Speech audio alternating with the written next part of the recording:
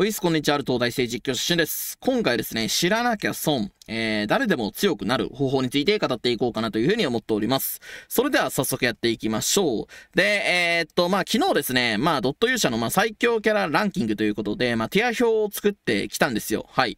で、まあ、ティア表はま、こういう風になっていて、まあ、気になる、詳細気になる方は、えー、概要欄に載せているので、そちらぜひ見てください。で、今回語っていくことはですね、まあ、えー、このゲーム、ドット勇者やっていくと、まあ、原初の塔であったり、まあ、あるいは、えっ、ー、と、ストーリーでですね、負けるときって結構あると思うんですよね。で、そういった時に、えー、何をすればいいのかっていうのを、えー、っと、やっていこうかなというふうに思っております。それではやっていきましょう。で、えー、っと、原初の塔が、まあちょっと詰まっちゃったんですよね。で、そういう時に、まずやるべきことっていうのは、この統計ですね。右の、この統計は絶対に見ておいた方がいいです。これでですね、まあ誰が、えっと、足を引っ張っているのかとか、あるいは誰が活躍しているのかっていうのが出てきて、まあ僕のパーティーですと、こう、妖怪かな？妖怪とイレイヤがすごい活躍していて、で、一方でですね、まあ結構強いと言われているあなたですね。これが、えー、っと、あんまり活躍していないと。まあ、根拠としては何だろうな。弱点のこの水色のこいつですね。こいつがまあ結構活躍してるっていうところがあるのかな。まあ、あと必殺技の関係で、えっ、ー、と、狩りの時間が、まあまあ活動しなかったらきついというところかな。まあ、こいつも、えっ、ー、と、あんま活躍してないという感じですと。はい。で、まあ、そういうのを把握しとくことがすごい大事で、はい。まあ、やっていきたいと思うんですけれども、まずはですね、これ結構知らない人いると思うんですけれども、まあ育成ですね、まあしなければよかったとか、こいつ育てなければよかった、みたいな話が結構あるんですけれども、個人的にはまあそんなことはないのかなと。まあ少なくともレベル100まではガンガン育てても構わないと。100以上上げるときだったら慎重になった方がいいと思いますけれども、100まではどうでもいいです。はい。で、理由はですね、この再生機能っていうのがありまして、まあクリックしていただくと、このレベルの上に再生ってあるんですよね。で、これ、えー、再生をするとどうなるかって言ったら、例えば、まあ選んど育てたけど、ちょっとなんか微妙だなって思ったら、これ再生ってすると、なんとですね、今まで使った、えー、ゴールドとか素材とかが全部、えー、100%返ってくると。いう形ですね。まあ、ちゃんと書いてありますよね。はい。で、えー、っと、まあ、一応試しましたけど、ちゃんと100%なっておりますと。で、ただし、えー、レベル100以上の勇者の再生にはダイヤが必要ですというところで、まあ、レベル、えー、だからここまでは、まあ、適当にやってもいいんですけど、こいつとかを再生する、レベル100までは大丈夫かな？はい。えー、レベル100以上つった100より大きいって言った方がいいのかな？だからあなたとかを、えー、っと、再生させる場合は、50ジェム必要という感じですね。はい。っていうのを覚えておくといいのかなというふうに思います。で、えっと、今回例えばあなたが活躍してなかったんで、例えばあなたの、えー、っと、再生をですね、こうやって、して、これですね、レベル1にしていくという感じで、まあこれ不必要というか、まあ今回、えっ、ー、と、使えてなかったんで、まあ例えば誰でもいいですけれども、どうしようかな。まあこいつとか星6なんで、ちょっとやっていきましょうかね。レベル100まで育成と。で、まあこれで弱かったら、また再生すりゃいいだけだからね。はい。レベル100までは割と、まあ、簡単にこれ育成できるっていうところが、まあ、すごいいいのかなといった感じで、まあ、特にですね、序盤に、まあ、育てたストーリーで使ったキャラクターとかの素材とか、まあ、ゴールドっていうのは、まあ、回収、えっ、ー、と、必ずしておいた方がいいのかなというふうに思います。で、続いて編成ですね。これがまあ最適化できてないんじゃねというふうに、ね、思っていて、まああなたが今回まあ外れたというか、外れましたけれども、ういう感じかな。HP と守備力をまとめておくことが、まあ、すごい、えー、大事ですね、このゲーム。ちょっと一括装備しとくか。で、編成がすごい大事で、まあ、このゲームって、まあ、この、なんだ、123456って言って分かりますよね。この123456。で、これが、まんま狙われやすさみたいになっておりますと。で、なので、えっ、ー、と、できるだけ、まあ、前のや、えー、やつらをですね、なんていうのかな、HP とか、あるいは防御が高い奴らを置いて、で、逆に、まあ、耐久低い奴は後ろに置くっていう風な、えっ、ー、と、戦略にした方がいいです。で、今回、まあ、僕のパーティーまとめたらですね、えー、っと、まあ、グルートが、まあ、一番前かなと。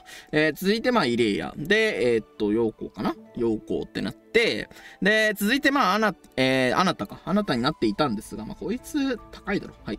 こういう感じで、いいんじゃないかなと。まあ、一応ちょっと見てみるか。えー、HP と守備力。いや、そんな高くないか。1万2000とあれだから。まあ、フレイヤーよりは、高いか微妙なとこだな。まあまあまあ、まあいいでしょう。まあいいでしょう。で、これでも結構、まあ変わるんじゃね？というところで、原初の塔クリアできませんでした。で、あとは、えっと、編成がまあ一応何パターンか6パターンぐらいあるのかな？はい。まあ、これとかを見た方がいいですね。例えば、全体攻撃が多いんで、まあこれでいいかな。一応、多分ね、前への攻撃とかあったはずなんで、これでいきましょうか。で、挑戦。さあ、これで勝てるんじゃないでしょうか。発動していく？全体攻撃からのあとはイレイヤの追加攻撃とかが、まあ、うまく刺さってくれることを期待しましょうかね。まあ、あなたの狩りの時間はね、ハマると強いんですけどね、っていうね。ハマらないと弱いからね。全体攻撃していく。いやー、だいぶ、あいいね。まあ、こいつですね、はいま。回避率が上がるとか、まあ、これ意外と強いんですよね。評価自体はね、そんなに高くなかったような気がしますけれども、どんなもんだったかな？さっきは割と乾杯といった感じだったんですけど、まあ、D ランクか。はいはい。個人的にはそこそこおすすめですかね。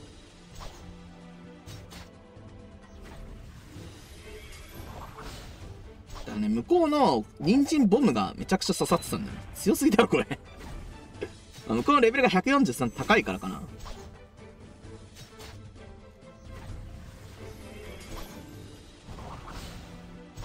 いいっすね。まあ、ただ編成とか、まあそこあたりをですね、まあしっかりしたことによって、まあなんとか倒せるんじゃないかな。まあ割と余裕持っていけてそうな感じはあるかな。これは負けないでしょ、さすがに。回避。そう、こいつ回避マジで強いんですよね。回避が10%上昇するっていう。回避で0ダメになるのが、すごい偉いと。また、イレイヤーが残ってるんで、草で相性勝ちで、まあ、相性とかもすごい、えー、っと、そのパーティー編成するときには気にした方がいいかなというところで、えー、っと、今回はま勝てましたね。で、勝った時の、まあ、MVP は、ま、こいつらになっていて、まあ、やっっぱり、まあ、死ににくさっていうのが、ね、まあ、パーティー編成することによってプラスされたので、ダメージがまあ伸びてるっていう印象かな。はい。で、あと、えー、っと、地味にですね、このイケメン戦士くんが、えー、っと、あなたより、まあ、火力が出せているっていうところで、えー、まあ、伸びたのかなというふうには思います。あなたより全然、えー、っと、このパーティーにおいては良かったですね。はい。ということで、えー、っと、今回はですね、まあ、ドット勇者の、まあ、強くなる、えー、方法について、えー、っと、語っていきました。まあ、最後せっかくなんで、ちょっとガチャ引くか。結構なんか余ってたような記憶があるので、引いていきましょう。あんま当たんないっすよね。はい。招待コードあるので 今からやりたいなという方はぜひお願いしますと。アイヌ。まあ、言うてね、この、何勇者って言うんでしたっけ？いやー、星5個ねえな。お軍ロズ来た。軍ロズはね、マジで、えっと、星6したかったかな。